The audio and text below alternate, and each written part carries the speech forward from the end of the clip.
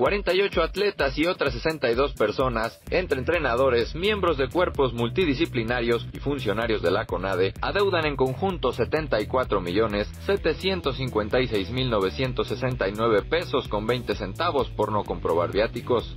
El Universal Deportes tiene en su poder las copias de las 45 cartas personalizadas y un documento titulado Apoyos Directos a Deudos 2016, 2017 y 2018 emitidos por el Departamento de Inversión y Evaluación Fiduciaria del organismo en el que se exponen los nombres de los involucrados y la cantidad que no pudieron comprobar.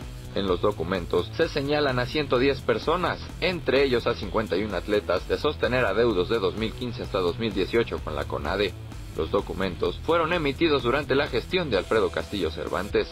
Se entrevistó a más de una decena de deportistas quienes aseguraron que comprobaron, pero culparon al departamento de mesa de perder sus facturas.